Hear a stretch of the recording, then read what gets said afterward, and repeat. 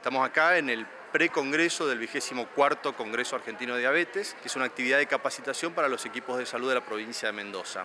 Eh, tenemos cuatro estaciones, o sea, son cuatro instancias de, formación en las cuales vamos, eh, se les da educación nutricional, se les da educación en, pie, en el manejo del pie diabético, se les da manejo de emergencias y de insulinoterapia y monitoreo glucémico, que son cuatro temas eh, importantes que se capacite el equipo de salud. Va a haber una actividad para la comunidad, de educación para la comunidad general, en lo que es la prevención y manejo de la diabetes, eh, repito, para la comunidad general, con juegos y actividades lúdicas para capacitar y que la gente sepa eh, cómo cuidarse y cómo prevenir esta enfermedad. Es un congreso, la verdad que muy completo, donde se trata todo lo que tiene que ver con el tratamiento, diagnóstico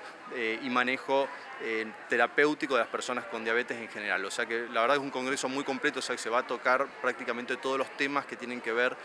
tanto con la prevención, con el tratamiento de la diabetes. Conceptos en cuanto a prevención de diabetes son bastante claros, ¿sí? actividad física, alimentación saludable, cuidado del peso y los controles médicos.